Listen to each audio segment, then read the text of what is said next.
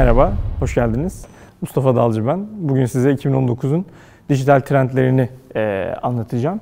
E, 2019 yılında ne üzerine konuşuyoruz, ne üzerine konuşacağız, hangi teknolojik gelişmeler karşımızda olacak biraz ve biz hangi alanlar üzerine uğraşıyoruz, onlar üzerine bir sunum olacak. Hızlıca kendimden bahsedeyim ama kendimden bahsetmeden şirket üzerinden e, gideyim. 2009 yılında UserSpots bir kullanıcı deneyimi tasarımı ve araştırması araştır kullanıcı deneyimi araştırma e, şirketi olarak kuruldu.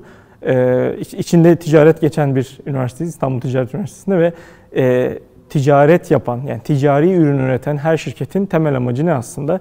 Kendi hedef kitlelerinin mutlu olduğu ürünler geliştirmek ve onları geliştirirken de para kazanıyor olmak. hedef kitlemiz mutlu, para kazanıyoruz. Bir yandan da teknolojiyi, yani dünyanın nereye gittiğini takip ederek e, yıllar önce çok büyük ama şu an küçülmüş şirketlerin yaptığı hatayı yapmıyoruz. Bir Nokia örneği verebiliriz değil mi burada? E, kullanıcı deneyimi tasarımı aslında e, kullanıcının, e, bir müşterimizin bizimle yaşadığı yolculuk noktasında, sırasında dokunduğu noktaların daha iyi tasarlanması, onu daha iyi bir müşteriye dönüştürmek, e, daha iyi bir kullanıcıya dönüştürmek, daha mutlu bir kullanıcıya dönüştürmek üzere yapılan aktivitelerin tamamıydı. E, UserSpots hala devam ediyor. Yaklaşık 500'den fazla tasarım projesi yaptık bugüne kadar. Tasarım ve araştırma projesi ve şu an kullanmakta olduğunuz birçok bankacılık, işte e-ticaret uygulamasının altında da e, bizim imzamız var. E, UserSpots sonrası aslında biraz daha yenilik arayışının içerisine e, girdim ben kişisel olarak. Ve bu yenilik arayışı içerisinde şirketlere, trendleri takip eden ve onlara uygun yeni ürünler üreten bir inovasyon stüdyosu kurduk. IUX aslında şirketlere e, hızlıca ürün üreten, 6-8 haftada bir yeniliği hayata geçiren, hayata geçirmese de yani e, ya, yapamasa da yapıyormuş taklidi yaparak e, ürünün e, ürünle alakalı kişilerin yorumlarını alan bir e, yapı kurdu. Aslında bu şu an çok ciddi anlamda kullanılıyor birçok dünyada. Örneğin birçok dünyadaki birçok şirket tarafından. E, örneğin Sony e, kendi Kickstarter'ını kurdu Japonya'da ve yapacağı projeleri Kickstarter gibi fonlamak için koyuyor. Bu ne anlama geliyor? Sony diyor ki benim bir saatim var. Bu saatin kordonunu e-ink yapayım mı? Eğer e, ben bu ürünü yaparsam sana normalde 25 dolara satacağım ama önceden 10 dolara satıyorum. Eğer 100 bin dolar toplarsam da bu ürünü yapacağım. Yani koskoca Sony'nin parası yok değil. Sony sadece aslında e, şunu anlamaya çalışıyor. Bu insanlar gerçekten buna para verirlerse bu onların gerçekten sevdiği, beğendiği ve ihtiyacı olan bir şey. Yoksa e, ürünü yapmadan önce fokus gruplar yap, sor bunu sevdim mi sevmedim de sonra piyasaya çıkınca çalışmasın vakası yaşamak e, çok tehlikeli. E, biz de aslında bu 6-8 haftalık ürün geliştirme sürecini yapabiliyoruz. Onun yerine yıllık bazda e, şeyler yapıyoruz. E, Idea Pool'la bir şirkete sürekli yeniliğin e, danışmanlığını verebiliyoruz. Veyahut şirketin fikirleri varsa bu fikirleri bir günde hayata geçirebilecek prototip etkinlikleri düzenleyebiliyoruz. Şimdi e, ben UserSpots'u ODTÜ'de araştırma görevlisiyken kurdum. 2009 e, yılında. E, bir yaklaşık normalde de ODTÜ istatistik mezunuyum. Araştırma görevliliğim bittiğinde de direkt oradan UserSpots'u kurup hayatıma devam ettim. Aslında biraz dışarıdan birisiyim. Tasarım dünyasına biraz dışarıdan bakan birisiyim. Ama işin istatistik tarafını, ölçümleme tarafını daha e, şeyim, hakimim ve o alanla daha fazla ilgiliyim. E, şimdi ise dediğim gibi yepyeni bir alan var karşımızda. Yeniliğin tasarımı, yenilik nasıl tasarlanabilir, yeni şeyler nasıl tasarlanabilir? Bu tabii ki yeni şeyleri tasarlama sürecinde, çok özür diliyorum, yeni şeyler tasarlama sürecinde e, şöyle önemli bir noktadayız. Yani yeniliği yapmak demek, e, sisli bir yolda araba kullanmak görüş mesafeniz 10 metre ve 30 metre sonra 50 metre sonra karşınıza ne çıkacağını bilmeyebilirsiniz. Ee, ürün geliştirmek böyle aslında. Bu Apple için de böyle. Küçük bir şirketseniz de böyle. Piyasaya çıkmadan, ürünü gerçekten üretmeden, piyasadan e, o ürünle alakalı tepki almadan o ürünün nasıl bir ürün olacağını çok kestiremeyebiliyorsunuz. Tarih çok fazla çalışır diye üretilen ee, ama çalışmayan ürünlerle dolu ya da doğru zamanda üretilmediği için çalışmayan. Sonuçta laptopu ilk yapan kişi onu 25 kilo yaptığı için aslında e, yayamadı. E, ya da böyle birçok inovasyon doğru zamanda çıkmadığı için. Yani e, Apple ilk dokunmatik ekrana sahip telefon değildi. Ondan önce onlarca dokunmatik ekran telefonda yapılmıştı zaten. Bizim amacımız ise bu 10 metrelik görüşü 50 metreye, 100 metreye çıkarmak. Ama hala bir sis var. Hala insanlar e, araba kullanırken, sisli yolda araba kullanırken önlerini göremiyorlar. Biraz daha görüş mesafesi katmak istiyoruz. Görüş mesafesi katarken kullandığımız e, donelerden biri de aslında şeyler, trendler. Şimdi trend dediğimiz şeyler neler? Biraz onlardan bahsedelim. E, neden trendleri takip ederiz aslında? O bizim için e, kritik noktada. E, trendler aslında trend raporlarıyla, işte ünlü büyük şirketlerin yayınladığı, işte bu yıl karşımıza bunlar gelecek, e, bu yıl bunları konuşacağız vesaire gibi e, şeylerle de e, takip edilebilir. Veyahut siz bir trendin oluştuğunu fiziki olarak orada gözlemleyerek de takip edebilirsiniz. Aslında dijital ve fiziki bir araştırmadan ibaret bu. Bakıyorsunuz insanlar artık daha fazla bir şey yapmaya başlıyorlar. Bunlarla alakalı etkinlikler oluşuyor ve siz de ona fiziki olarak dahil olabiliyorsunuz. Ya da sosyal medyadan dahil olup o şekilde onu gözlemleyebiliyorsunuz. Ya da dediğim gibi o trend yurt dışından ya da farklı farklı ülkelerden dalga dalga üzerinize doğru geliyor olabilir. Buradaki amacımız buradaki trendlere bakıp evet birebir uygulamak, Türkiye'de bunu uygulamak değil. Sebebi de şu, e, kullanıcı deneyimi son derece kültürel bir iş. Yani Amerika'da çalışan bir ürünün Türkiye'de çalışması ya da işte e, Japonya'da, Çin'de çalışması çok olası olmayabiliyor. Yani Çin'de şu an WeChat adında bir chat uygulaması var. E, WhatsApp yerine insanlar WeChat'i kullanıyorlar ve WeChat'in içerisinde siz sadece insanlarla chat yapmıyorsunuz. WeChat'in içerisinden araçta çağırabiliyorsunuz, para da gönderebiliyorsunuz. QR ile bütün ödemelerinizi yapabiliyorsunuz ve bu sadece Çin'de çalışıyor örneğin. Yani Çin haricindeki bütün ülkelerde WhatsApp'ın içerisine ya da işte başka uygulamaların içerisine başka şeyler sokmaya çalışıyorlar. İnsanlar ise şunu diyor, ben bunun içerisinde bunu kullanmam. Ben bu uygulamayı sadece birisiyle konuşmak için kullanıyorum. Ya da Türkiye'de çalışan bir şey doğrudan yurt dışında çalışmayabiliyor. Sadece Türkiye'ye özel bazı iş modelleri var gerçekten. Ya da yurt dışındaki bir iş modelini Türkiye'ye getirirken, yani gitti gidiyoru düşünün ilk olarak eBay e, versiyonu Türkiye'de yaparken eBay'de aslında alıcı ile satıcı arasında parayı tutan bir mekanizma yok. E, çünkü güven ilişkisi biraz daha farklı. Biz ise OECD ülkeleri arasında güven endeksi sondan ikinci sıradayız.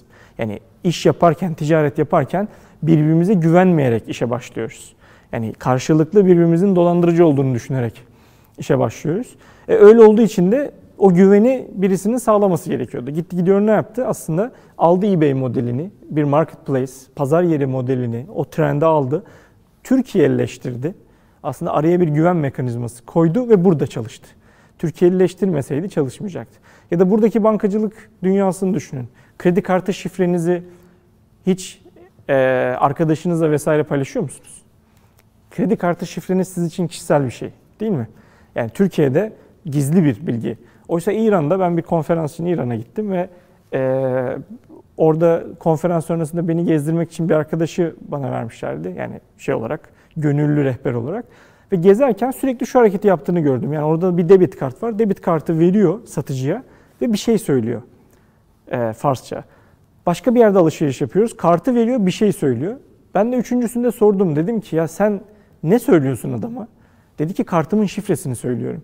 Dedim niye? Yani yani şunu düşünün. Kredi kartınızı veriyorsunuz ve kredi kartınızı verirken şifresini de söylüyorsunuz karşıdaki.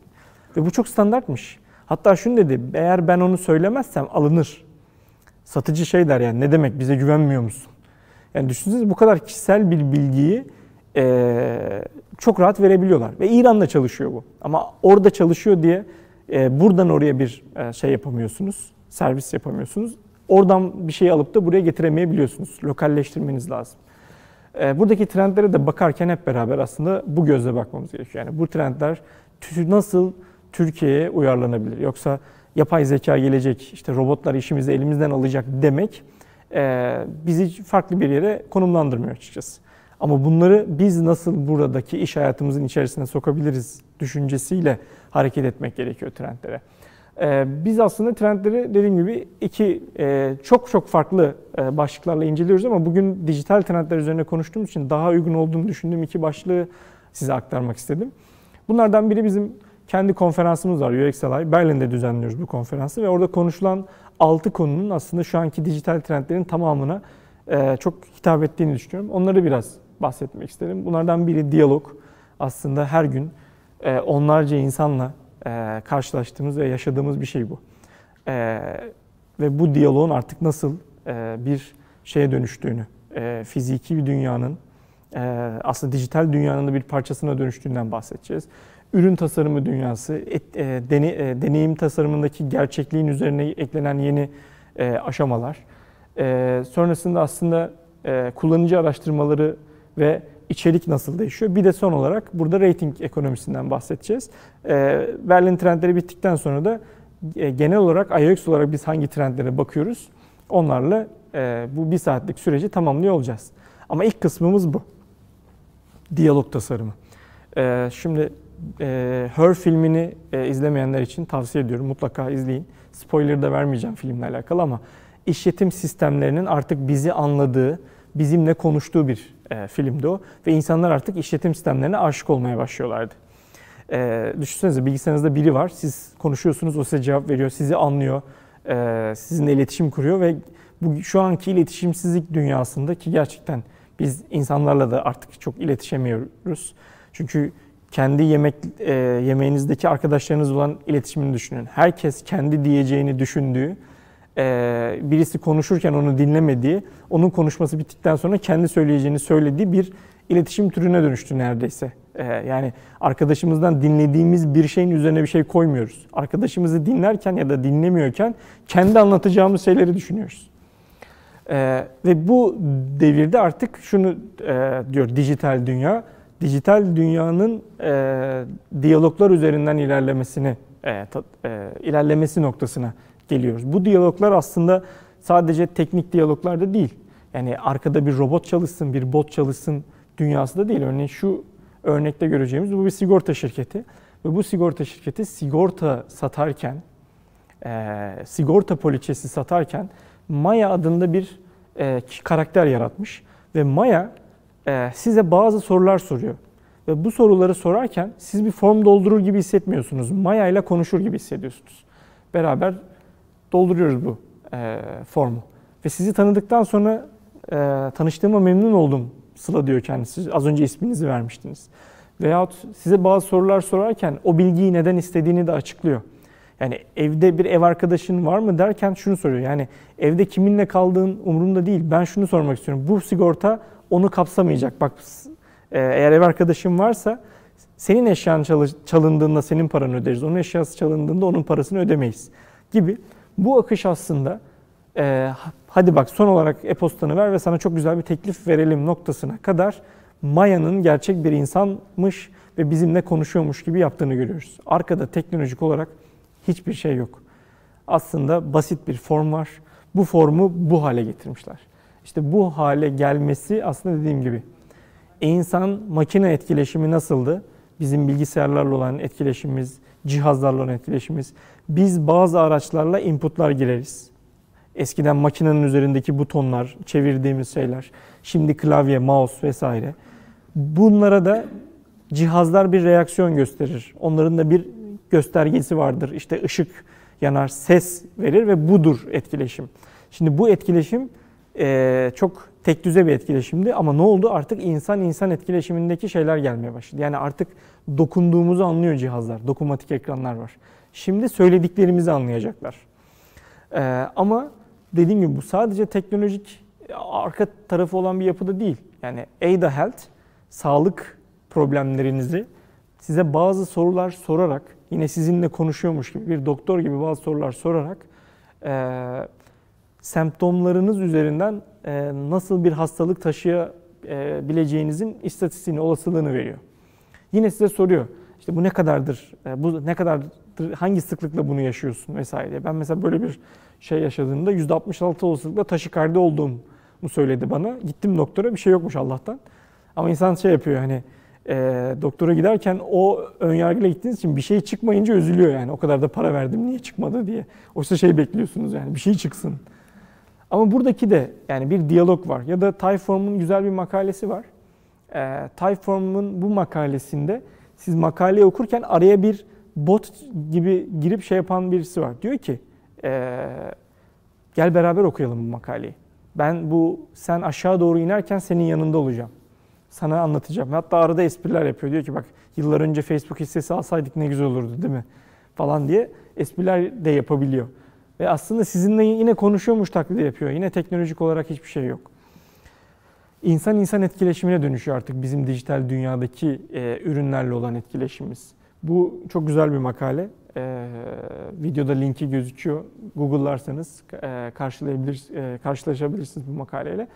E, bir de işin teknik tarafına girelim aslında. E, bu arada şunu söylüyor uzmanlar da. E, diyalogların önemli bir kısmında da şu an teknoloji bizi anlamıyor. E, yani diyalogları tasarlarken doğru ve akışa değil anlamamaya göre tasarlamamız lazım. Yani adam bir şey dedi onu anladım vesaire dünyası yok. Çok büyük ihtimalle anlamayacağız. Teknolojik olarak anlamıyoruz. O yüzden de hep diyaloğu kapatalım. Yani e, size bir şey sorarken işte hangi gün gelmek istersiniz deyip boş bırakmayalım. Günleri oraya seçenek olarak koyalım. Yani diyaloğun kontrolü hep bizde olsun. E, biraz teknolojik tarafa girersek de artık evimizde e, bu tarz ürünler var. Yani Alexa ya da Google'ın asistanı, Google Home gibi ürünlerle beraber evinizde ışıkları açar mısın ya da bana şu uçak biletini alır mısın diyebildiğiniz bir asistanı e, şey e, asistanı kullanabiliyorsunuz. Şu ana kadar Türkiye'de bu ses üzerinden e, kullanılan üründe bu Arçelik'in bir ürünü var. Yakında başka şirketler de bu tarz ürünler piyasaya sürecekler. Biz Türk kullanıcısının şu an e, makineye konuşma konusunda bir e, alışkanlığının olmadığını düşünüyoruz şu an için. Yani telesekretere de konuşamayan insanlarız. Yani hayatımıza telesekreter girmedi. Daha doğrusu o klasik Amerikan dizilerinde eve gelip hep mesajları dinlediğiniz hikaye bizde yoktu. O yüzden bir cihaza konuşma e, şeyimiz var, sıkıntımız var. Bu arada cihaza konuşma deyince e, aklımıza Siri de geliyor. E, şu an Siri'yi e, siz programlayabiliyorsunuz. Yani ilk Getir yaptı bunu galiba Türkiye'de. Get, e, Siri siparişim nerede kaldı dediğinizde e, siparişiniz 3 dakika içerisinde gelecek diye Siri size cevap veriyor. Aslında uygulamanın içerisine girip oradan bir bilgi alıp size e, söylüyor. Yani yakında bir e-ticaret sitesine belki gelip şey diyeceksiniz. Bana günün kampanyalarını anlatır mısın Siri? Ve Siri size bunu anlatmaya başlayacak. Yani sadece bir e, tek bir özelliği değil, onlarca özelliği içine barındırabileceksiniz başka uygulamalarla. Ama hala dediğim gibi bir konuşma şeyimiz var. Ee, konuşabilme noktasında. Ama yazışmada da bazı teknolojiler var artık. Şu an WhatsApp Business diye bir şey açıldı. Ee, tüm dünyada birçok uygulamasını, e, birçok şirketin uygulamalarını görebiliyoruz. WhatsApp Business'la artık WhatsApp'ın içerisine bot koyabiliyorsunuz. İnsanlara otomatik cevap veren e, botlar da koyabiliyorsunuz, insanlar da koyabiliyorsunuz oraya. Yani artık insanlar size e, sizin çağrı merkezinizden ulaşmak yerine WhatsApp numaranızdan ulaşıp benim şöyle bir problemim var, bunu nasıl çözersin diyebilecekler. Türkiye'de de ilk bunu yapan banka Yapı Kredi oldu örneğin. E, Yapı Kredi'nin e, WhatsApp hesabı üzerinden e, onlara bazı sorular sorabiliyorsunuz. Ve eğer üç kere yanlış anlarsa ya da anlamazsa sizi doğrudan da insana bağlıyor şey yapmıyor öyle bırakmıyor da ortada kalmıyorsunuz. Yani dediğim gibi hala işin içinde teknolojik taraflar var. İşin içinde teknolojik olmayan taraflar var ama bu yıl e, diyaloğun yılı olacak. Yani sürekli diyaloglar kuruyor olacağız arayüzlerle. Devam edelim. Yeni e, üniversitede e, hayatına devam etmekte olan arkadaşlar aslında yine dediğim gibi e, bir ticaret e, odaklı bir üniversitedeyken e, güzel bir nokta bu. Aslında ürün yöneticisi adını verdiğimiz bir insan hayatımıza giriyor. Eskiden proje yöneticisiydi bu ve proje yöneticisi e, kaynaklarla, o kaynaklarla o projeyi o deadline içerisinde e, tamamlamaya çalışan kişiydi. O bütün kaynakları yöneten, yönlendiren kişiydi. Şimdi ise ürün yöneticisine dönüştü. Artık sorumluluğunda para da var. Yani bu ürünün hangi fonksiyonları e, sonraki aşamada hayata geçecek? Nasıl tasarlanacak ve bu ürün nasıl para kazanacak? Aslında bu üçünden de sorumlu bir insan var hayatımızda. Ve e, eğer yurt dışına gitmek istiyorsanız e, yurt dışındaki birçok iş ilanında Product Manager e, ilanı olduğunu görebilirsiniz. Ve dediğim gibi Booking'in yaklaşık, yaklaşık yüzden fazla ürün yöneticisi var diye bir bilgi vardı. tam emin olmamakla beraber ama çok fazla ürün yöneticisi çalıştırıyor artık. Ürün ekipleri belli bir amaca e, yönelik içinde tasarımcı, yazılımcı barındıran ürün ekipleri ve onları yöneten dediğim gibi tasarımdan, işten yani paradan ve teknolojiden anlayan kişiler. Ee, ve sadece aslında e, işin tasarım kısmı değil, yazılım kısmında da e, çevik yöntemler de gelişmeye başladıkça ki işleri küçük parçalara bölerek o parçaları yönetmek aslında yönetim biliminde, yönetim anlamında biraz farklı bir e, bakış açısı. Eskiden daha her şeyi planlar ve yolda o plana uyarak hayatımıza devam ederdi. Şimdi her şeyi planlıyoruz ama küçük parçalara bölerek planlayıp o küçük parçaları hayatımıza e, hayata geçirerek ilerliyoruz. Son olarak da aslında bu videoyu izleyen arkadaşlarımız da bu, ara, e, bu konuyla alakalı. Sonra da tasarım kısmını anlatayım. Son olarak da bu videoyu izleyen arkadaşlarımızın çoğunun da içinde bulunduğu e, grup ve şu anki üniversite öğrencisi arkadaşlarımız da artık bir şeyleri satın almayı çok cool bulmuyorlar. Yani 1990 sonrası doğan arkadaşlarımız için e, şu hikaye korkunç bir hikaye. Yani yıllar boyunca çalışacağız, emekli olacağız, bir emekli ikramiyemiz olacak, işte onunla ev alacağız falan. Bu, bu artık şey dediğim gibi e, 1990 öncesi doğanları da bir yaşam biçimiyken 90 sonrası doğanlarda belki bir korku hikayesine dönüşüyor. Onlar için şu an varsa var, yoksa da yok. Ve şu an varsa var düşüncesi şu yüzden oluştu. Her şeye çok kolay erişebilirler. Satın almadan, kiralayarak erişebilirler. Yani şu an Uber kullanarak taksiden çok çok daha iyi bir hizmeti neredeyse benzer bir fiyata alabiliyorsunuz. Gerçi Türkiye'de bazı yasal sıkıntıları var onu umarım çözecekler.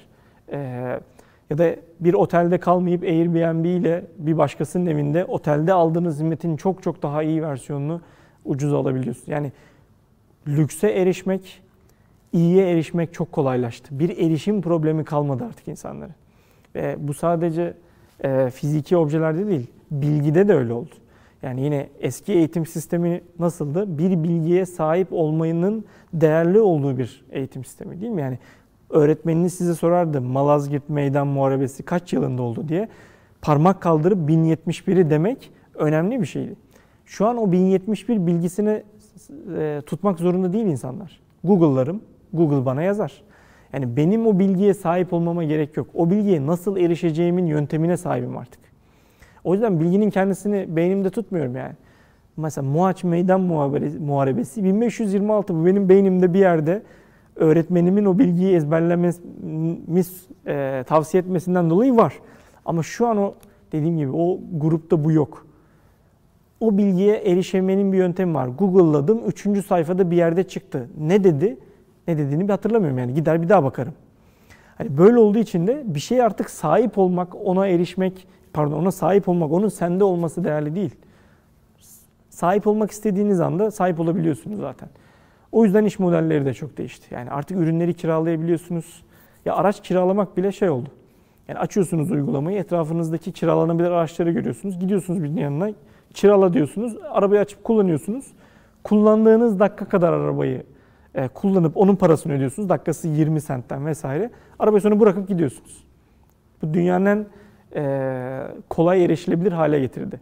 E, bu, bu tarz teknolojiler, bu tarz iş modelleri. E, tasarımcılar aslında nasıl bir yaklaşım içerisinde? Biraz da oraya bakarsak artık tasarım dünyası da şunu söylüyor. Bir şeyi yapmadan önce e, o şeyin yapıp e, yapılıp yapılmaması gerekip yani o onu hayata geçirmeli miyiz, geçirmemeli miyiz kararını almamız gerekiyor. Daha doğrusu sadece kararı değil, onun rakamsal validasyonuna ihtiyacımız var. Yani bu iş gerçekten tutar mı? Yani bir girişimci arkadaşım beni aradığında şey demişti ya ben internetten bir şey satacağım e, ve bunun satılabildiğini kanıtladım ben. Dedim nasıl yaptın? Fake bir tane sayfa yaptım. Çalışmayan bir sayfa. İnsanlar bilgilerini girdiler. Onlara da fake teklifler sundum. İşte bunu 500 lira alabilirsin, 1000 lira alabilirsin, 1500 lira alabilirsin. Ve oradaki satın alma butonuna basma oranlarına baktım. 100 dolar harcadım. 1000 kişi geldi sayfaya. Bunlardan 600'ü bilgilerini verdi. 200'ü geldi ve oradaki butona tıkladı. Eğer bu 200'den ben %2'sine satarsam 100 dolar harcarım, 4 tane ürün satarım. Zaten ürün başına benim karım 60 dolar. E 100 dolar harcayıp 240 dolar kazanıyorum. Ve de, sonra diyor ki tamam ben bu ürünü yapayım. Bakın daha ortada hiçbir şey yok. Yani dur ürünü yapacağım, yazılım ekibi kuracağım, tasarım ekibi kuracağım. Bunun üzerinden bir yılımı harcayacağım yok. Daha birinci aşamada, birinci aşamada e, bu ürün çalışacak mı'nın şeyini yapıyor. Mesela bunu fiziki ürün yapan bir girişimci de yapmış. İşte Starbucks'ta arkadaşlarıyla, e, daha doğrusu Starbucks'ta yeni e, bir ürün geliştirmeye çalışırken e, baristalarla kanka olmuş artık. Yeni 1 milyar dolarlık fikri geliştirecek.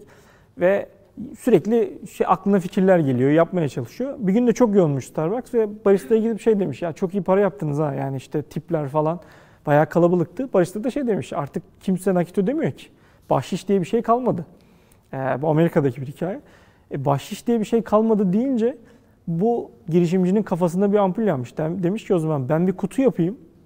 Bu kutu insanların kredi kartıyla bahşiş verebildikleri bir kutu olsun. Şimdi bu noktada eski iş yapış şekli şunu düşünür. Tamam ben bu kutuyu yapayım, kutunun içinde kredi kartını soktuğumuzdaki o bütün finansal etkileşimler için bankalarla görüşeyim vesaire der. Bir yılını o kutuya gömer. Eski iş yapış şekli. Yeni iş yapış şekli ise şu. O kutudan bir tane yapıyor. Ee, çalışmayan ama içinde sadece gün içerisinde kaç tane kredi kartı sokulduğunu takip eden bir tane Arduino yapı var. Yani kredi kartı sokuluyor ama sadece şey diyor. Bir, hiçbir şekilde fiz, e, kredi kartından bir bilgiyi alıp bankaya falan göndermiyor. Sadece diyor ki buna insanlar kredi kartı sokmuşlar mı sokmamışlar mı? Bunu e, sayıyor. Ve sonra o yaptığı fake çalışmayan kutuyu 5-6 tane yere koyuyor. Bunlardan biri Starbucks. Sonra gün sonu raporlarına bakıyor. Ve şunu görüyor. Gün sonunda ortalama 30 kişi oraya kredi kartını koymuş. Sokmuş yani. E, bahşiş vermek için. Şöyle diyor. Ben bunlardan %30 alsam kutu başına günde 9 dolar alırım. Ayda 270 dolar. Allah bin bereket versin. Bu da beni kurtarır. Tamam ben bu ürünü yapayım. Bakın artık ben bu ürünü yapayım kararına gelmek için ürünün prototipini yapıp sonrasında e, hayata geçiriyor. İşte bu aslında o product manager'ın da vesaire yapması gereken bir şey. Yani bu yeni dijital dünyanın iş yapış şekli. Ve bunu aslında e, ya bizim ODTÜ'deki endüstri mühendisi kantinindeki abi de yıllar önce şey yapmış. Yani mesela çiğ köfte satacak bir öncesinde bir başkasına çiğ köfte yaptırıp bir gün böyle bir şey yapar. insanlara dağıtırdı.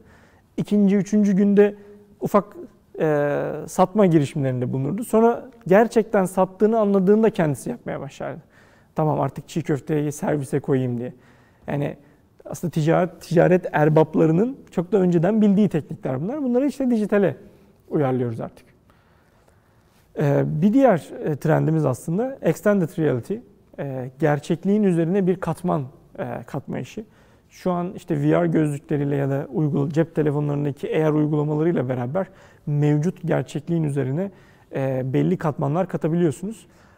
Hala yeni arayışlar içerisinde bu sektör. Özellikle oyun sektörü üzerinden yayılmayı şey yapıyor, denemeye çalışıyor. Yani hem Apple'ın hem de Google'ın buna benzer uygulamaları var.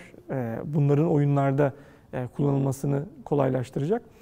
E, ticaret tarafında da bazı girişimler var. E, örneğin farklı yerlere farklı portallar açmak gibi güzel girişimler var. Örneğin bu videoda gördüğünüz gibi bir anda otoparkınızın içerisinde Eyfel Kulesi'nin nasıl bir manzarası olduğunu size gösteren bir kapı açılıyor. Bu kapının içerisine giriyorsunuz ve girdiğinizde gerçekten Eyfel Kulesi'ndeymiş gibi hissediyorsunuz. Yani bu Eyfel Kulesi'nin manzarası e, bu şekilde. Arkanız arkada hala otoparka geri dönebilirsiniz. Veyahut bir eğer uygulaması düşünelim. E, işte mağazada e, markette şey aldınız, tavuk aldınız. Ve sonrasında o aldığınız tavuğun e, yanına size bir sos önerdi.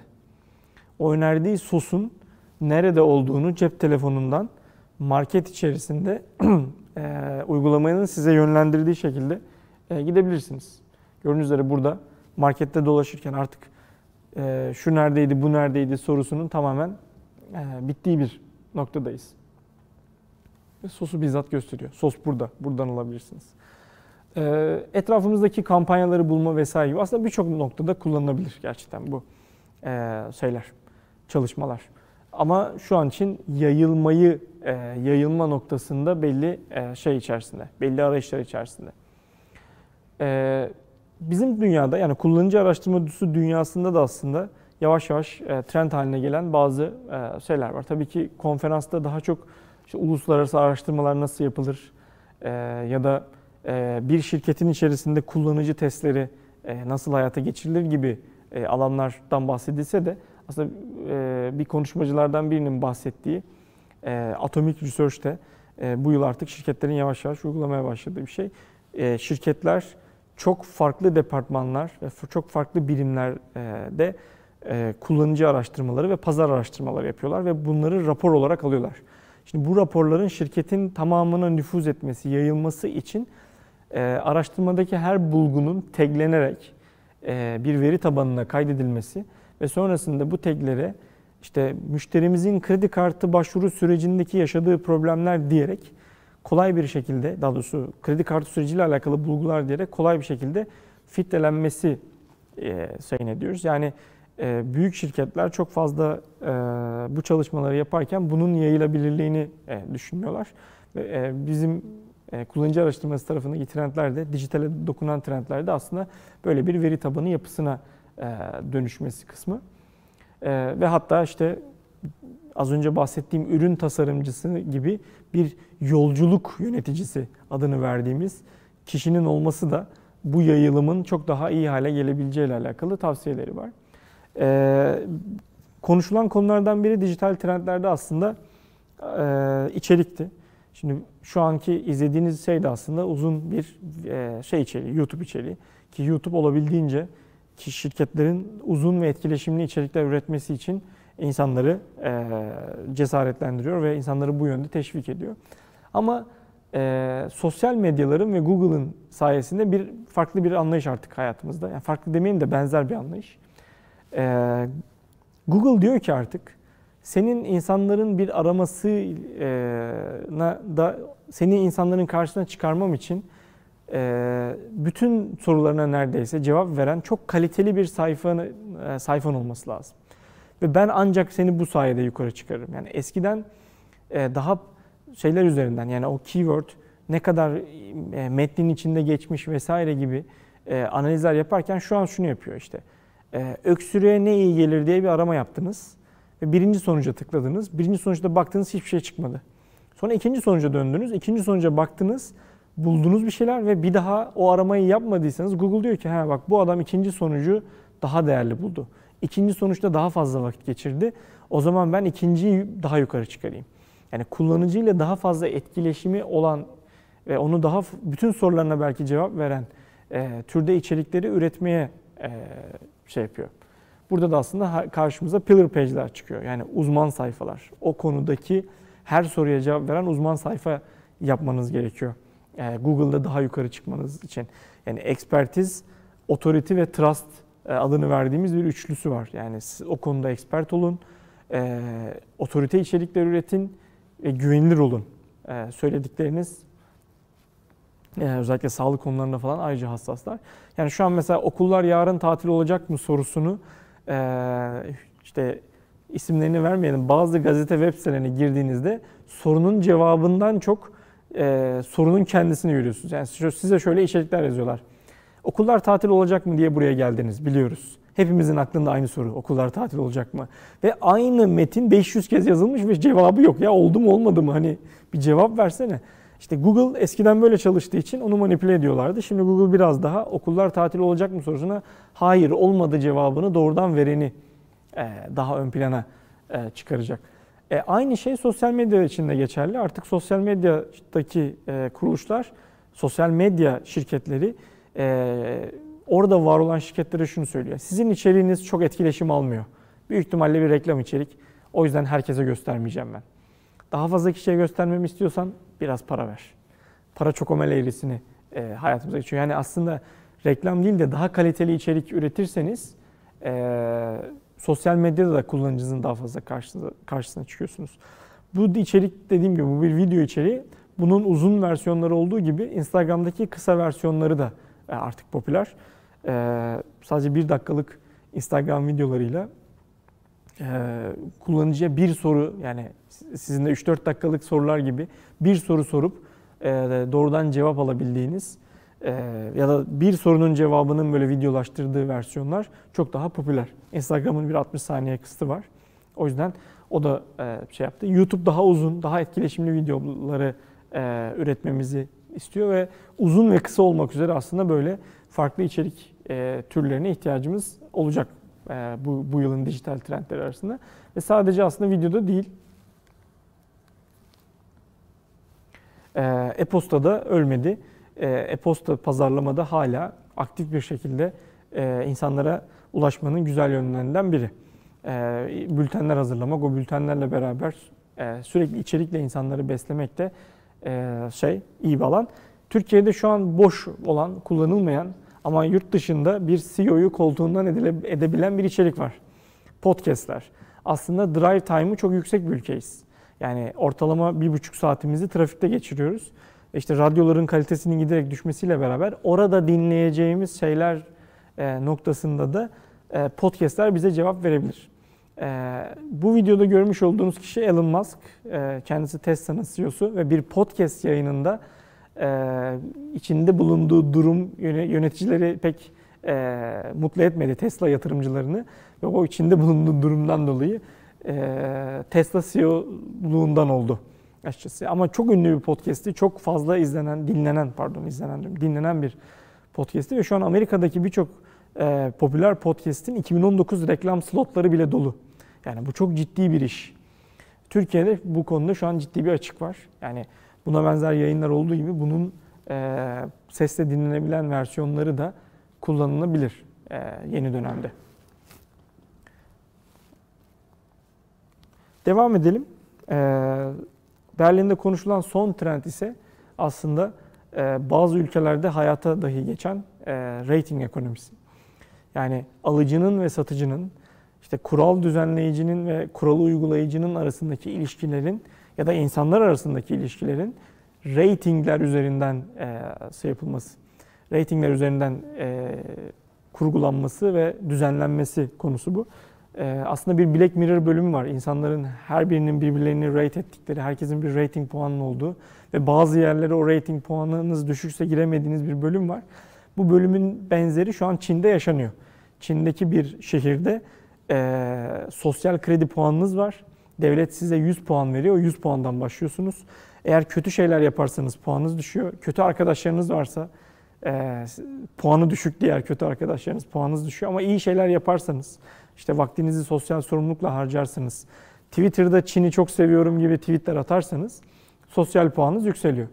Yüksek puanınız varsa e, bazı şeyleri ücretsiz alabiliyorsunuz. İşte e, devletin bazı imkanlarını sadece puanı yüksek olanlar alabilirken e, düşük puanınız varsa tabii insan haklarına da belki aykırı bir durum bu. E, bir yerden bir yere gitmenizi engel gitmenizin engellenmesine e, varacak kadar kısıtlamalar da olabiliyor. E, aslında rating ekonomisi e, bize bunu söylüyor. Rating ekonomisinden önce bir de neyi ölçeceğimizle alakalı bir durum var aslında. North Star Metric e, şu anlama geliyor. North Star Metric diyor ki kuzey yıldızı aslında bizim yön bulmamız için baktığımız bir yıldızdır ya. Bir kuzey yıldızı metriği bulun. O kuzey yıldızı metriğini e, ofisinizin en önemli yerine asın. Ve o astığınız metriği az arttırmak için yani o rakamı arttırmak için sabah akşam uğraşın.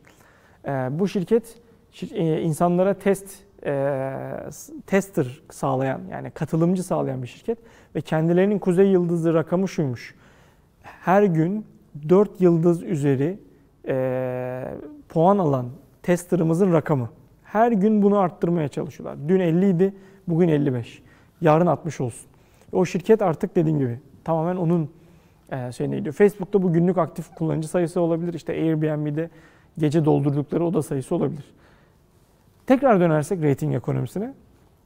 Rating ekonomisi aslında bize e, bizim davranışlarımızı e, değiştirmeyi sağlayan bir şey. Ben aktif bir Uber kullanıcısıyım ve Uber'de şoförün puanı olduğu gibi bizim de puanımız var. Mesela benim puanım 4.75'miş. Ve o puanı gördüğümde şunu soruyorum.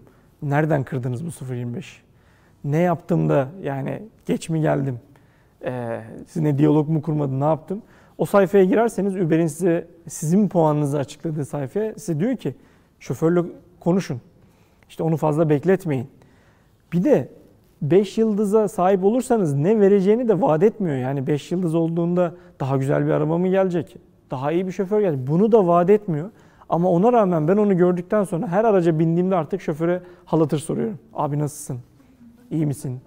Var mı bir? Yani sıkıntı falan. Aynen, aynen. Ve hatta şu olabilir yani orada takım elbise giyin dese belki takım elbiseyle gideceğim yani hani sırf daha yüksek puan almak için. Ama yüksek puanın bana getirdiği şeyi de bilmiyorum. E, şoförler tarafında da işte 4.6'nın altına düşerseniz diyor ki size 90 gün veriyoruz. 4.3'ün altına düşerse belli bir süre sonra sistemden atıyor. Aslında bu reytingler bizim döviz takip eder gibi yani para birimi takip eder gibi takip ettiğimiz bir şeye dönüşüyor ve davranışımızı değiştiriyor. İşte bu aslında bir ekonomi yaratıyor.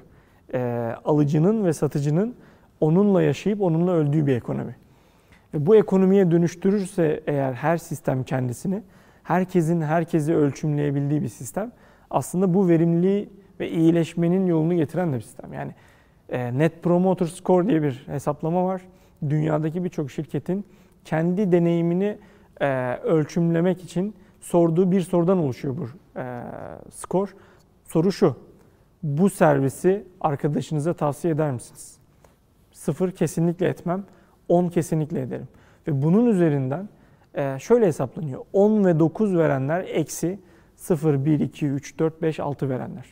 Yani sizi gerçekten arkadaşına tavsiye edip promote edenler eksi size asla yok yapmam diyenlerin oranı sizin müşterilerinize yaşattığınız deneyimin rakamsal karşılığı aslında.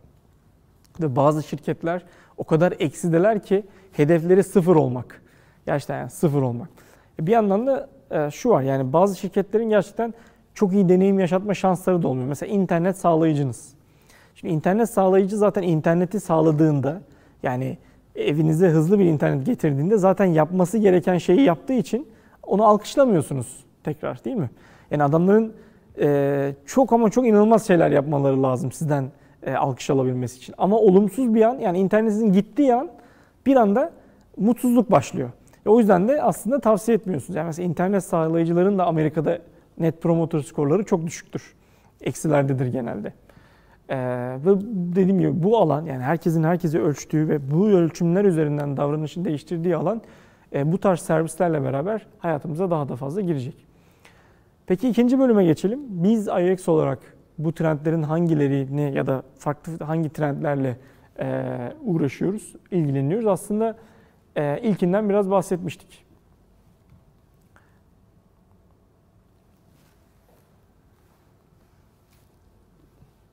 Şu an e, bir ufak şey yaşadık ama evet.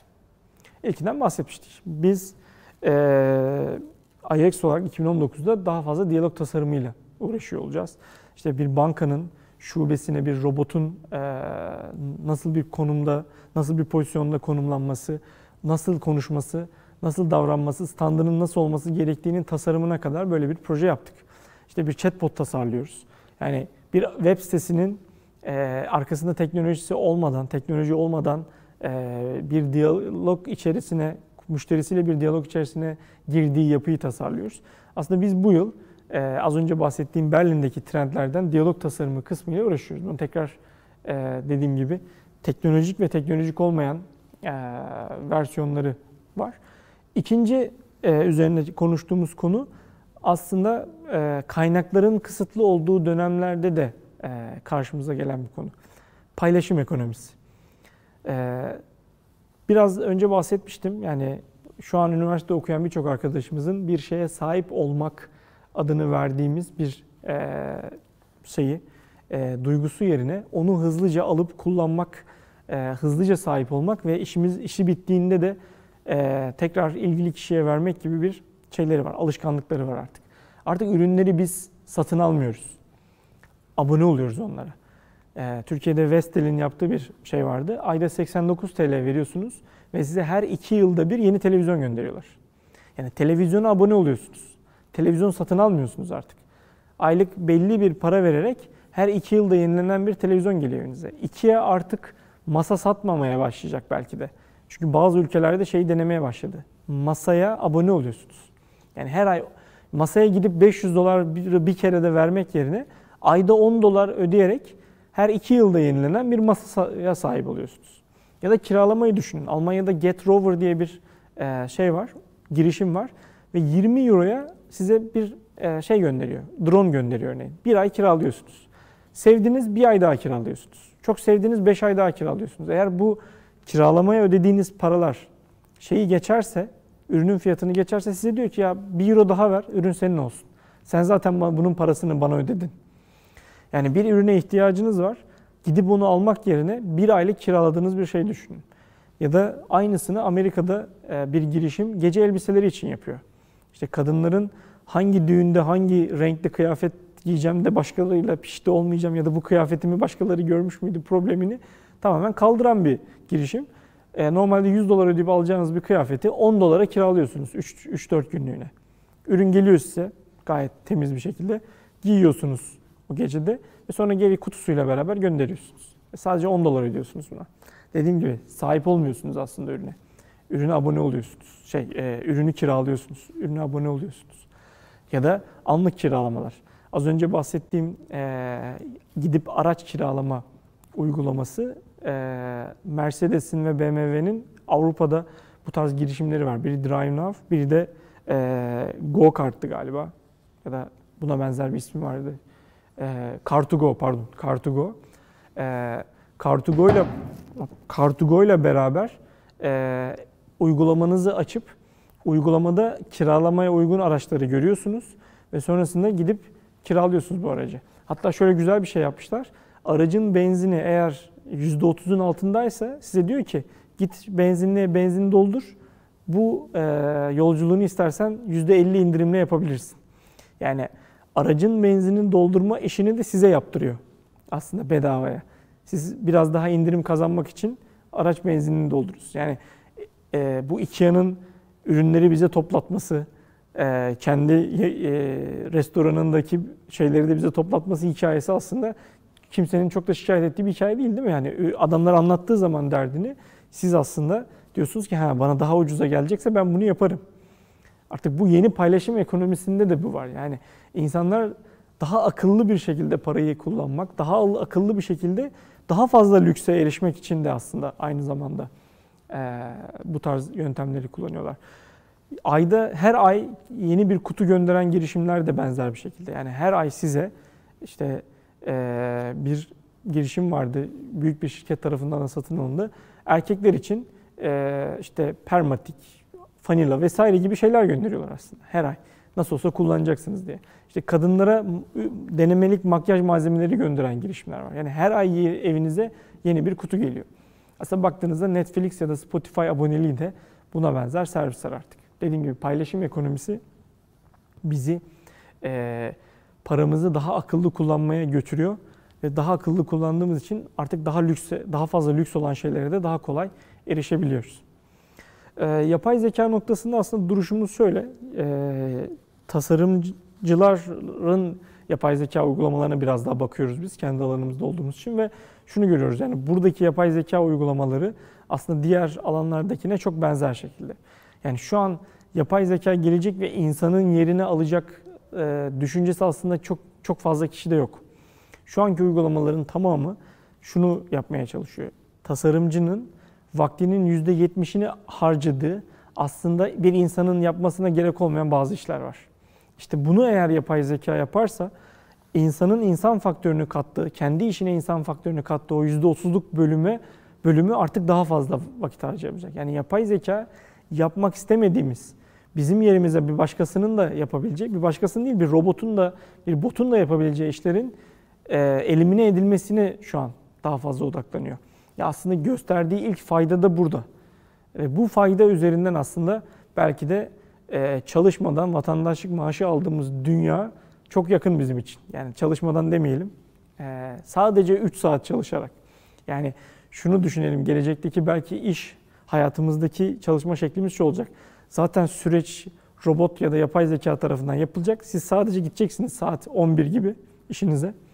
11 ile 2 arası ona insan faktörü katacaksınız. Hani insanlaştıracaksınız onun çıktısını ve sonra saat 2'de eve döneceksiniz. Bunun karşılığında da bir e, hayatınızı devam ettirebilecek kadar iyi bir rakam alacaksınız. Ümit ediyoruz e, gelecek öyle bir şey olacak. E, akıllı mobilyalar ve çalışan deneyimi de aslında benzer bir şekilde. E, şu an yine bu videoyu e, tabii ki çok fazla üniversite öğrencisi arkadaşımız izleyecektir. e, şu an çalışan insanlar da e, izleyecektir diye tahmin ediyorum. Ama üniversite öğrencisi arkadaşlar için artık e, işte Google gibi ofisi olmak, işte çok güzel bir ofiste çalışıyor olmak da klişeleşti. Yani Silikon Vadisi dizisinde artık dalga geçilen bir, bir şirkete dönüştü Google. Yani eskiden herkes Google gibi ofisi olan bir şirkette çalışalım diye düşünürken şimdi artık bir sürü insanın çalıştığı, e, hatta bazı çalışanların unutulduğu bile yani hani bazılarını projeden e, çıkarıyorlar ve e, o projeden çıkanlar unutuluyorlar bir yerlerde. Hani o kadar büyük ki artık organizasyon. E, ve bu tarz yapılar artık yeni e, mezun arkadaşlarımızın içinde bulunmayı da çok istemediği yapılar. Yani Google, Facebook çalışmak için cool olan değil, e, startuplara tercih edilen şirketlere dönüştüler aslında. E, yeni startuplara, e, dünyayı değiştirme e, amacında olan startuplara tercih ediliyorlar. E, Türkiye'de de bunun benzer bir şey var aslında. Yani insanlar girişimlerini kurmak istiyorlar, daha rahat çalışmak istiyorlar daha açık alanlarda çalışmak istiyorlar. Evlerinden çalışmak istiyorlar. Şirketler de bunu biraz artık e, ön plana çıkarmaya başladılar. Artık bazı ofisler şöyle. Kimsenin masası yok ofiste. Yani sadece toplantı masaları var ve her gün istediğiniz yere oturabiliyorsunuz. Yani odanız yok. Hani şey vardır ya bir çalışan olarak oturursunuz. İşte çocuğunuzun fotoğrafını koyarsınız, eşinizin fotoğrafını koyarsınız. Postitler falan koyarsınız. Bu dünya yok artık. Yani bilgisayarınızı bugün şu masaya koyuyorsunuz. Yarın öbür masaya koyacaksınız. Ertesi gün başka masaya. Zaten belki de pazartesi ve cumada evinizden çalışacaksınız. Gelmeyeceksiniz. Böyle bir dünyada biz de mobilyaları akıllandırarak aslında bu çalışan deneyimine daha uygun, daha etkileşimli e, şeyler yapmak istedik. Yani işte masalar, lambalar. Yani bir e, masayı düşünün. Yazılımcıların beraber çalışırken uyguladıkları bir Pomodoro diye bir teknik var farz edelim. 20 dakika çalışıyorlar, 5 dakika dinleniyorlar. 20 dakika çalışıyorlar, 5 dakika dinleniyorlar. Masanın kendisi de buna uyum sağlasa. Ee, insanların 20 dakikalık çalışma süresince e, telefonlarındaki notification'larını falan kapatabilen bir yapı olsa masada ve 5 dakikada da hadi artık 5 dakika takılın dese size masa. Aslında burada uğraştığımız şeyler e, dediğim gibi çalışan deneyiminden dolayı e, akıllı mobilyalar. Çalışan deneyimi de aslında biraz önce bahsettim ama biz nasıl bir e, tasarım şirketiydik? Kullanıcının ihtiyaçlarını anlayan ve kullanıcıya uygun deneyimler sunan bir tasarım şirketi diye kendimizi anlatıyorduk. Şu an şirketlerde çalışanları için bu deneyimleri tasarlamak zorundalar. Ee, özellikle Türkiye'de, tabii dünyanın geri kalanında da çok büyük bir yetenek açığı var. Türkiye'de şu an e, hani birçok arkadaşımızın yurt dışına gitmesinden de dolayı şirketlerin o yetenek açığını kapatmak için farklı yöntemlere başvurduklarını biliyoruz. Bunlardan biri de çalışanın bütün sürecini yani işe başvurma, iş görüşmeleri yapma, iş görüşmesi yapma, birinci günü, ilk 6 ayı, sonraki 2 yılı vesaire gibi bu sürecin tamamını düşünerek bir servis tasarımı yapma konusu da e, dediğim gibi yetenek azlığından dolayı. Sadece Türkiye yaşamıyor problemi, dünyanın geri kalanında yaşıyor. Çünkü bazı yetenek merkezleri var ve herkes oraya gitmek istiyor. E, orada da çok fazla şirket var. Orada da ayrı bir e, kapışma var aslında. E, ilgilendiğimiz alanlardan biri bu. Minimum Viable Product. Aslında e, Lean UX tarafında biraz bahsetmiştim ürün yöneticisi tarafında. E, uzun uzadıya bir şey için çalışmak e, yerine onun çok küçük bir parçasını yapıp onu e, büyütmek aslında burada anlatılan konu. Kaykay örneği de şu yüzden klasik bir e, görsel var MVP ile alakalı. Hani bir araba yapacakken arabanın önce gövdesini, sonra işte motorunu, sonrasında o arabayı birleştiren yapıyı yapmak yerine yani belli bir süre araba e, hayata geçmeden öyle çalışmak yerine size diyor ki önce kaykay yapın. Sonra onu scooter'a çevirirsiniz. Sonrasında araba yaparsınız. Yani aslında insanların ilk olarak bir yerden bir yere ulaşım problemlerini bir MVP ile çözün. Minimum Viable Product deniyor aslında MVP. Yani bir ürünün kendi faydasını gösterebildiği en küçük çekirdek hali. Onu yapın. Müşterilerinizden, ilk müşterilerinizden yorumlar alın. Sonrasında arabaya doğru giden adımları, adımları, adımları deneyin. Yani doğrudan arabaya yapmaya çalışıp hadi 30 kişilik ekip kurduk, 2 yıl boyunca araba yapacağız demek e, o 2 yıl içerisinde çünkü dünya değişebiliyor. Bunu demek aslında dünyanın değişmeyeceği varsayımı üzerine kurduğunuz bir cümle. Yani biz bazen mobil uygulamalar yapıyoruz. Bir bankayla bir yıl sürüyor ve bir yıl öncesinde başladığımız anda yenilikçi olan uygulama bir yılda eskiyor. Çünkü Apple 3 tane telefon çıkarıyor, işte Android bambaşka bir şey değiştiriyor. Yani siz e, dijital dünyada şu an yeni bir şey yapıyoruz dediğinizden yaklaşık 10 gün sonra belki de eskiyen bir şey e, yapmaya dönüşüyorsunuz. O yüzden de çok hızlı reaksiyon gösterebilmeniz lazım. Organizasyonel yapınızda, tasarım ekibinizde, yazılım geliştirme ekibinizde tamamınızın e, bütün ekibin çok çevik hareket edebiliyor olması lazım. E, yani dediğim gibi tabii ki savunma sanayisinde bu böyle bir dünya yok. Savunma sanayisinde işte projeler çok çok daha kapsamlı araştırmalar yapılır. Çok daha detaylı çalışılır ve sonrasında 5 yıllık, 10 yıllık bir plan çerçevesinde bunlar hayata geçirilir. Oradaki projelerde böyle bir şey vardır. Ama dijital işler dediğim gibi siz dursanız dünya durmuyor. Instagram, Snapchat'ten aldığı story'yi çok pro, e, aktif hale getirdiğinde bir anda bütün uygulamaların içerisinde story diye bir şey çıkmaya başlıyor. Şu an diğer bütün uygulamalar da story hayatlarına geçiyorlar.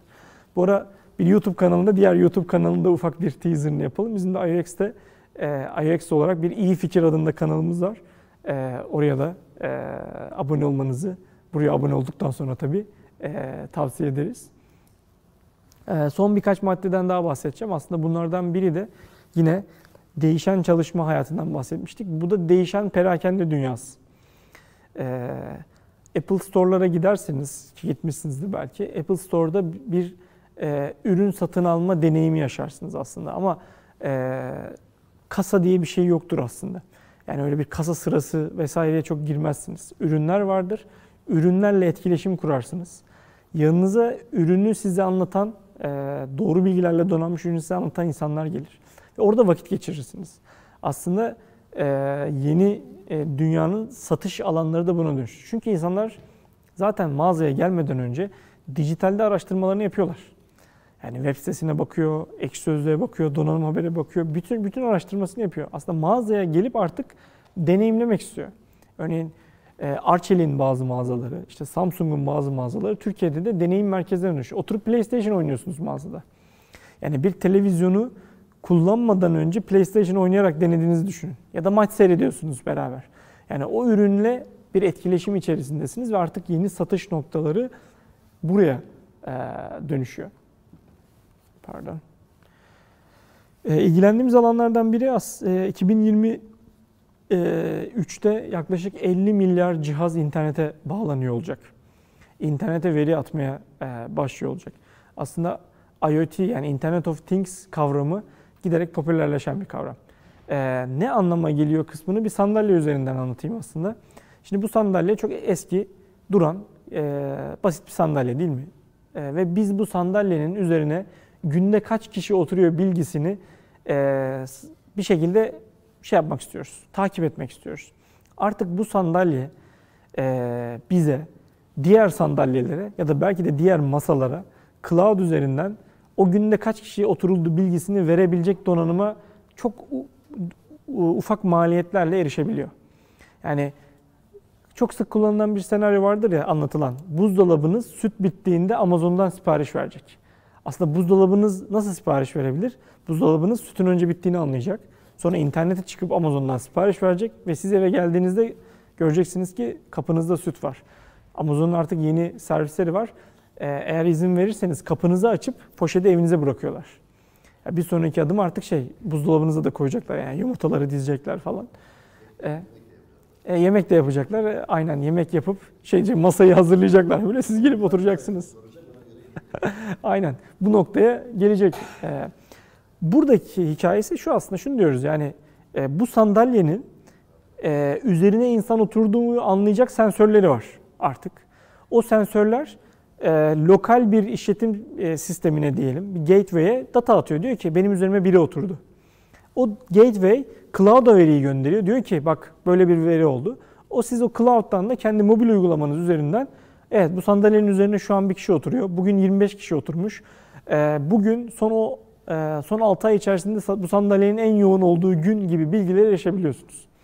İşte sandalye üzerinden örnek verdiğim için şey diyebilirsiniz yani, yani ne işe yarayacak bu? Ama bunun işte az önceki buzdolabındaki gibi her cihazın bunu yapabildiğini düşünün. Her cihazın internet üzerinden diğer cihazlarla ve sizinle etkileşime girdiğinizi düşünün. Yani artık evinizdeki buzdolabı da, ocakta, fırında, e, çamaşır makinesi de, bulaşık makinesi de, televizyonunuz da e, sizinle alakalı verileri e, bu tarz paylaşabildiği noktada hatta yatağınızda kaç saat uyudunuz, ne kadar güzel uyudunuz verileri artık artık yaşamınız etrafınızda sizi takip eden ve bu takip üzerinden akıllı çıkarımlar yapan cihazlarla e, dolu olabilecek. Ve yani şu an örneğin akıllı saatler yani Apple'ın son e, saat uygulamasıyla EKG bilgileriniz şey yapabiliyorsunuz. Takip edebiliyorsunuz. Ya da bir yere çarptığınız anda e, işte 5 saniye e, boyunca bir şey yapmazsanız ambulans çağırıyorum diyebiliyor size. Gerçekten bir mesela bisiklet e, cinin başına böyle bir şey gelmiş yani. Ağaca çarpmış ve e, Apple Watch'u yani böyle baygın, yarı baygın halindeyken geri saymaya başlamış. Demiş ki sert bir çarpma hissettik. 5 saniye içerisinde aksini yapmadığın sürece şey yapacağız. Ambulans çağıracağız. Ve gerçekten bir ambulans oraya gelmiş. Yani e, sağlık verilerinizi böyle anlık takip edebildiğiniz noktayı düşünün. Artık günde ne kadar kalori harcadınız, ne kadar yürüdünüz yani kendi kişisel farkındalığınız da artacak. Aslında bu bizi başka bir trende götürecek. Başka bir konu iyi yaşamak. Yani bir dijital trend, trend değil belki ama artık e, az önce bahsettiğim o satın almak istemeyen e, nesil aynı zamanda parasını kendisine ve iyi yaşamaya yatırmak da istiyor. E, perakendeye çok e, uğraşıyoruz aslında. Bu görmüş olduğunuz örnek yani e, fotoğrafta görmüş olduğunuz örnek bir Amazon mağazasının örneği. Amazon e, fiziki mağazalarda açmaya başladı ve fiziki mağazanın içerisine e, şey koyuyorlar. E, Amazon.com'daki o kitapla alakalı yorumları koyuyorlar. Amazon.com yıldızını koyuyorlar. Hatta şöyle bir şey yapmışlar. İki tane kitap var. Ortasına bir tane kağıt yerleştirmişler. Diyor ki bunu seven bunu da sevdi. Yani iki kitap ortasına sadece bir kağıt koyarak e, tavsiye motoru yapıyor adamlar. Yani fiziki mağazaların içerisinde dijital bir deneyim olmak zorunda da değil yani. Koskoca Amazon ki dijital konusunda inanılmaz e, tecrübeli bir şirket. Kendi mağazasında çok az dijital etkileşim yapmış. Sadece bu kağıtları koyuyor. Yani bu kitapla alakalı yorum bu. Kitabın Amazon'daki puanı bu. Ee, işte bu kitabı okursan şunu da alabilirsin gibi aslında sadece yönlendirmeler var. Yani ne yapmış? Fiziki mağazaların içerisinde dijital deneyimleri yerine dijital deneyimlerin yanında aslında müşterisinin o ürünü daha iyi satın alabilmesi ya da daha fazla satın alabilmesi için yönlendirmelerde bulunmuş. Bu biraz daha fiziki dünyaya dokunan ama dijitalden beslenen bir trend. Son olarak da aslında tamamen bizim kişisel alanımız. Hani her yeri akıllandırırken e, sporu da akıllandırmak istiyoruz. Sporu da dijitalleştirmek istiyoruz. Her şeyi takip edebildiğimiz için işte Survivor parkurları gibi parkurlar oluşturup çocukların futbol öğrenmelerini, futbol okullarında e, antrenman yapmalarını sağlayan sistemler üzerinde çalışıyoruz. Dijital trendlerimizin e, sonuncusu da bu şekildeydi. Pardon. Önündeki trendlerden hem de aslında ilgilendiğimiz trendlerden bahsettik. Peki bunlarla alakalı biz neler yapıyoruz? Onu da hızlıca aktarayım ve bununla beraber e, tamamlayalım. E, bir inovasyon kampı yaptık. İnovasyon kampında yazılımcılar ve tasarımcıları bir araya getirdik ve onların e, belli ürünler üretmelerini sağladık. Mesela bu ürettikleri bir kişiselleştirilmiş asistan ürünüydü. Evinizde bir asistan var ve o asistan artık sevdiğiniz bir e, sinema karakteri de olabilir ya da bir aşçı asistan olabilir mutfağınızda size destek olan ya da sizin evinizde size İngilizce öğreten bir asistan olabilir. Mesela benim favorim şey taraftar asistan. Beraber maç seyrediyoruz böyle. Ya da ben uyanıyorum bana şey diyor işte e, pazartesi Beşiktaş'ın maçı var. İşte ilk 11'imiz şöyle olabilirmiş vesaire. E, benimle beraber yaşıyor. Yani taraftarlığı benimle beraber yaşayan. Aynı takımda. Belki şey de olabilir tabii ki değil mi? Rakip asistanla beraber sizi kızdırabilir sonuçta. E, futbolu keyifli yapan şeylerden biri de rakibin seni kızdırması. E, blend the trend diye trendleri karıştırarak e, bir şey yapabildiğiniz, e, bir sayfa hazırladık. Aslında fikir geliştirebildiğiniz bir sayfamız var. Burada e, bir iş, bir tasarım, bir de teknoloji trendini birleştirerek şey yapıyorsunuz. E, fikir geliştiriyorsunuz. Bu e, bahsettiğim gibi tasarım, iş ve şey trendleri birleşiyor ve onun üzerinden bir kanvasta fikirlerinizi dolduruyorsunuz. Yeni fikirler e, geliştiriyorsunuz. Örneğin dronlar var, kolay ödeme var ve diyalog tasarımı var. Bir tasarım, bir teknoloji, bir de şey trendi. Tasarım trendi. Hadi bunun üzerinden bir şey yapın, fikir geliştirin. Fikirleri karıştırın, e, trendleri karıştırın, fikirlerinizi geliştirin ve ortaya şey çıksın. Örneğin e, yazı geçelim. Burada fikir geliştirmekle alakalı şey e, önerileri içerisindeyiz. Olabildiğince hızlı sayıda e, fazla hızlı ve fazla sayıda proje geliştir, fikir geliştirin ki e, ve bunları öldürmeden yani e, saçma fikirler demeden kimse kimseyi bloke etmeden olabildiğince fazla fikirlerin geliştirildiği birer workshoplara dönüşün. Bunları sunun ve bu sunum sonrasında e, bir senaryo üzerinden e, o fikrinizi e, anlatın. Bu bütün trendleri de listelediğimiz bir trend sayfamız var. Bu trend sayfamızda da bu trendlere erişebilirsiniz diyerek e, anlatacaklarımı noktalayayım ben. E, burada bu e, yayın için beni davet eden Adnan Hoca'ya çok teşekkür ediyorum. E, ve e, İstanbul Ticaret Üniversitesi'ne de e, böyle bir imkan sağladığı için teşekkür edeyim. Çok güzel bir e, stüdyo. Ümit ediyorum ki burada çok fazla daha e, buna benzer içerikler üretilecek.